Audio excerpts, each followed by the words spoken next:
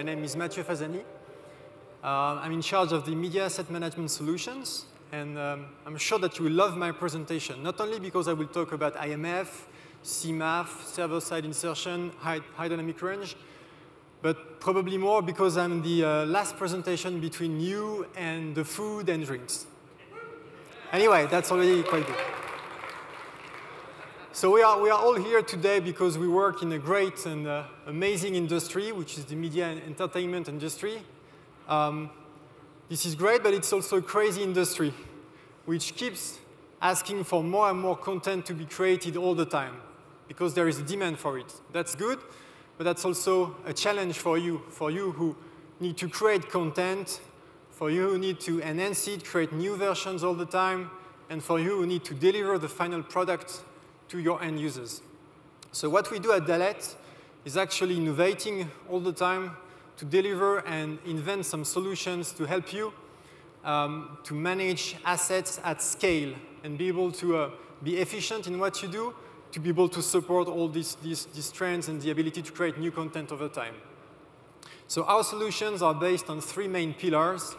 The first one is enterprise content management. It's key to be able to um, reference any type of asset in a system, audio, video, and also more complex objects, bundle, track stacks, IMF um, assets.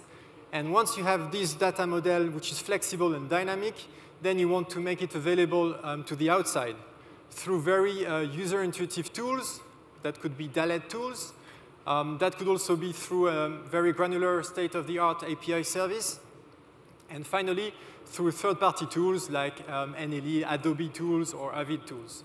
Once you have this in place, the second pillar is the framework that allows you to create, prepare the programs, prepare all the components, and make it ready for distribution.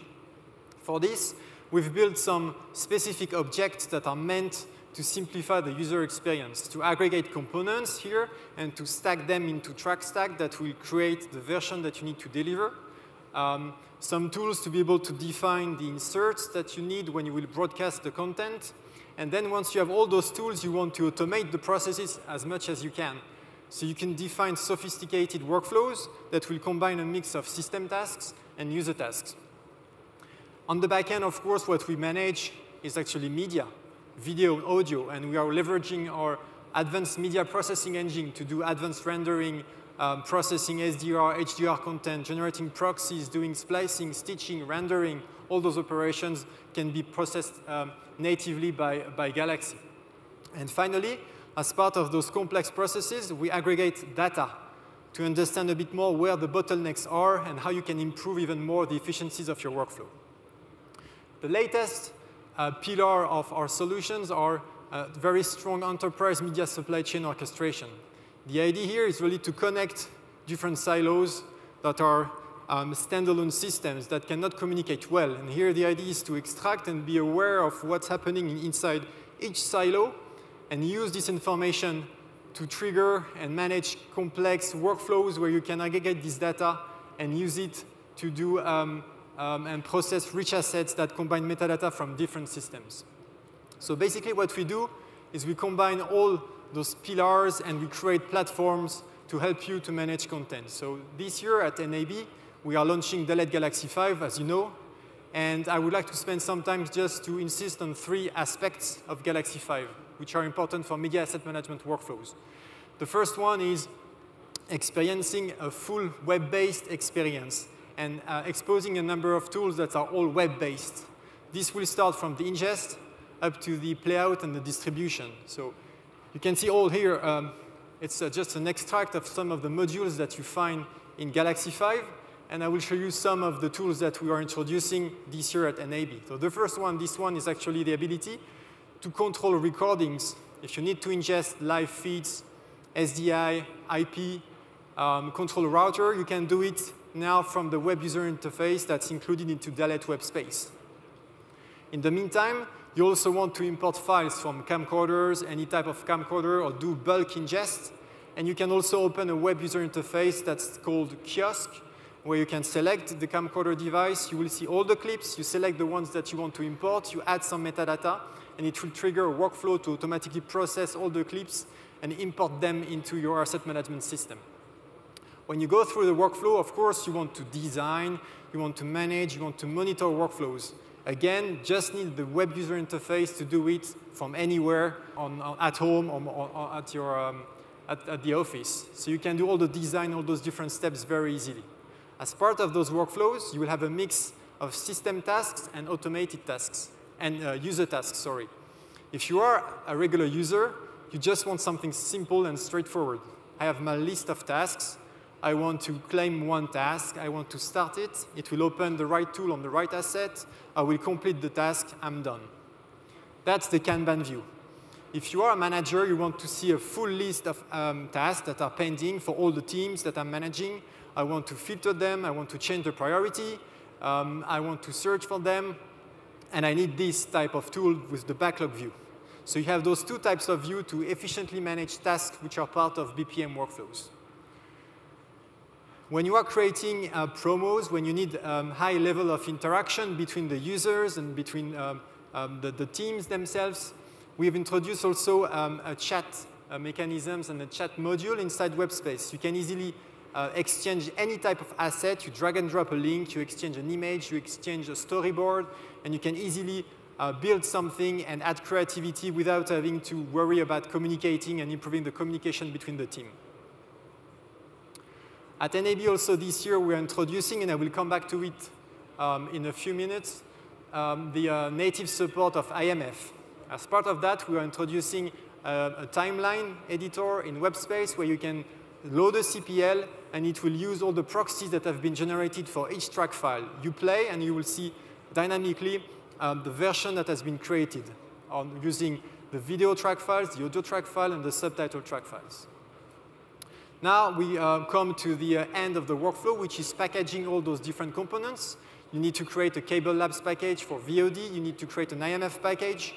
And you can easily drag and drop. And you have all those containers, which are predefined. You drag and drop the asset, or you will populate the container automatically via a BPM workflow. And then this will flow inside the BPM workflow. And we, uh, Raul talked about it also before, is it's not only um, file-based operations, but also real-time operations that can be managed from a web user interface. So that was the first thing that I wanted to uh, share with you um, this year at NAB. The second topic is component-based workflows. So I want to do some education first and share um, my view on where you should go, when, where we should, why you should think about going, moving forward with component-based workflows. So let me take one simple example. Typical workflow is you have video, audio, that are combined into one file, typically an MXF or P1F file. And what you start doing on this is running processes. You want to generate a proxy, you want to run a QC, you will attach metadata to this package itself. You don't care about what is inside this package, you care about the container itself.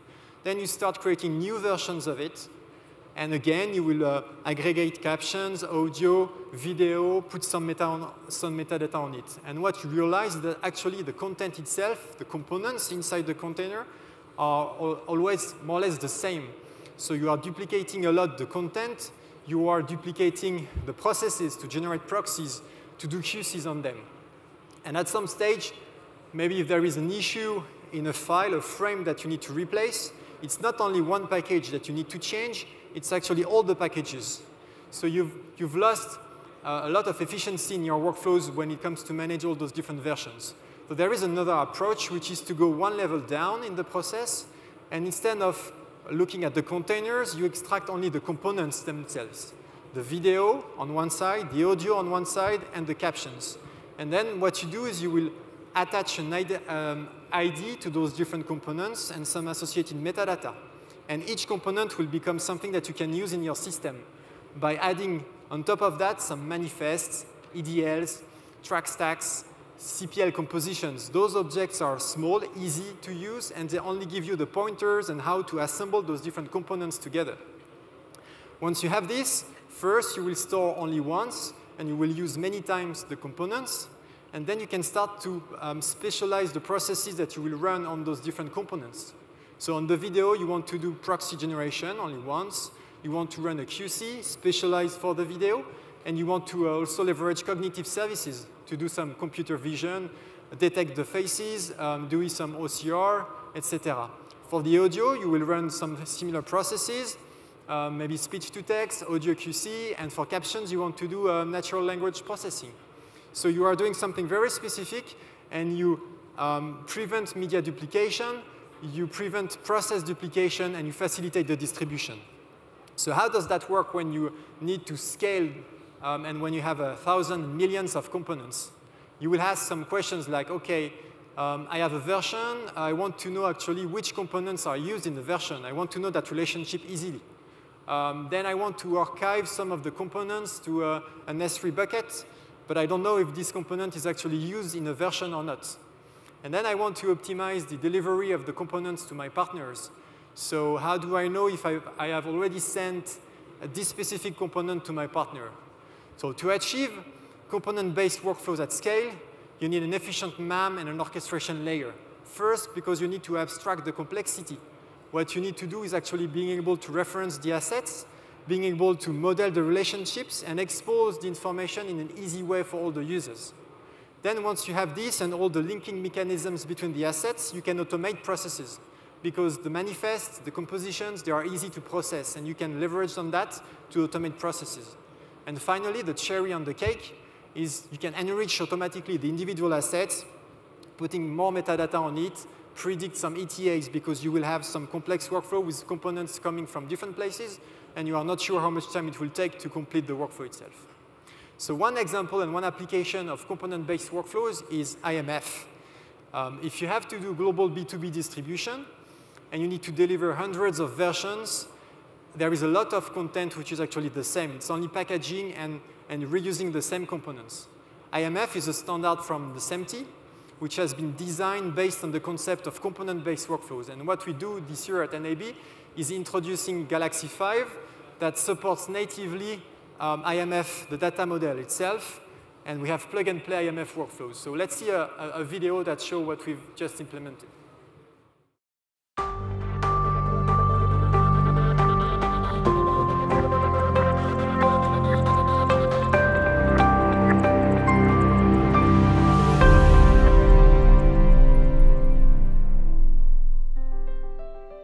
Dalet Galaxy 5 introduces plug-and-play IMF workflows, allowing the ingest of IMF packages, the referencing of IMF assets in a central repository for immediate search and preview, the visualization of relationships between the components, the automatic creation of new compositions, and the generation of new IMF packages for delivery. IMF components are exposed in a unique, intuitive, and easy-to-manage web user interface, while workflow orchestration can automate sophisticated processing in the background. Let's go through a typical IMF workflow. An original version has been created by a mastering tool and is delivered to Dalet Galaxy 5 as an IMP, in other words an IMF package. The contents of the IMF package is referenced in the MAM, and IMF assets appear in Dalet web space, including IMF track files, composition playlists, output profile lists, a media pack title representing the IMP, a bundle title which will link all the versions belonging to the same title or episode. Proxies are automatically generated for each individual track file, allowing immediate browsing from anywhere. Editorial and technical metadata for each asset are imported, allowing users to include this information in their search queries. We can also see the track file descriptors, CPL, OPL, and IMP metadata. For CPLs holding EIDR or ISAN IDs, metadata from these global registries can be seen by the user such as the director, actors, release date, etc. Media pack titles allow you to track how assets have been delivered. As you can see here, this IMP contains one video track file, two audio track files, and one CPL. Let's imagine now that we receive an improvement of the OV as a new IMP, which contains two subtitles with a composition playlist referencing them. As the new CPL refers to the same title via its EIDR title ID, those new assets get linked to the original bundle. Let's see how this looks like in the bundle. The bundle design is based on componentized workflows, where you find the media components in the Media tab, the composition playlist in the Production tab, renderings of the composition in the Versions tab, and deliveries of the assets in the Packages tab.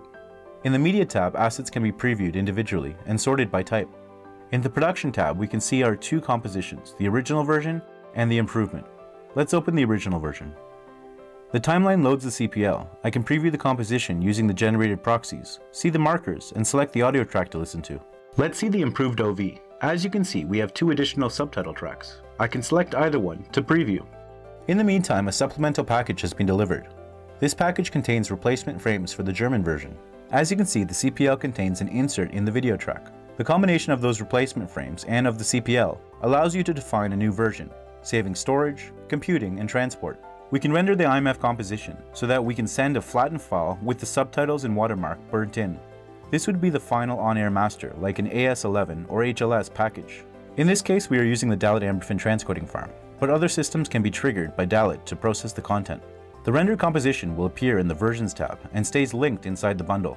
We can also generate a new IMF package from the CPL. All the components used in the CPL will be inserted in the output package. Finally, we will generate a new package, which we will combine different components into a new composition. If we want to manually create a new IMF package and export some individual assets to a partner, we can create a new IMF package and link our various track files together by dragging and dropping our assets from the bundle editor to the package. This enables organizations to repurpose their archived content as IMF packages. When our package is complete and all the elements are there, we initiate a migration policy to create an IMF package. This will compute the checksums if required, create the asset map and the PKL files, and export the package to any desired destination, such as an FTP server, AWS 3 buckets, and Azure Blob storage. Of course, such a process can also be automated via the Dalet workflow engine. Finally, it is key to understand how components are interconnected. Using the Dalet context map, anyone can see at a glance the contextual relationships between our IMF assets. When we focus on a single CPL, we can see from which IMP it has been delivered, that it is associated to some EIDR or ISAN IDs, that it uses a number of individual track files, and that it is part of a larger bundle. Let's focus on the bundle. This shows us all track files belonging to the same title, and how each CPL uses them. Dalet Galaxy 5 delivers plug-and-play IMF workflows, allowing any organization to easily manage domestic and international versioning at scale using the powerful new SMPTE standard, IMF.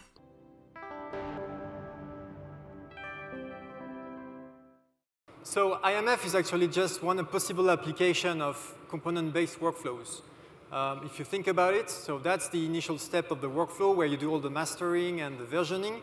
But think about all the multi-platform distribution and how you will take this original um, source content and send it to all the different outlets, like to um, the TV liner um, playout, to the different VOD platforms, OTT platforms, and think about all the things that are happening right now in the industry um, object, um, object-based media. You want to give to the user different types of objects on demand based on some metadata generated by the audience, generated by cognitive services on the components themselves. Um, if you think about CMAF, CMAF is really about isolating the video, the audio, and the subtitles, and that you can recombine them on the fly when needed. Um, IMF, um, DCP for the digital, for the, um, digital cinemas, digital theaters, is also about using component workflows. So this model is really something that is happening in, the, in the, industry and is not limited only to uh, B2B um, distribution workflow. Um, the last topic I want to talk this afternoon is media processing.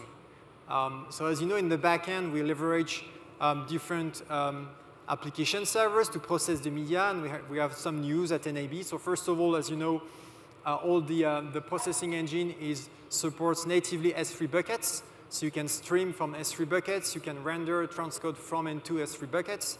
On top of that, we are introducing elasticity so that automatically when we reach a level of jobs which are queued, we can automatically spin up new processes um, to process the, uh, the jobs that are pending.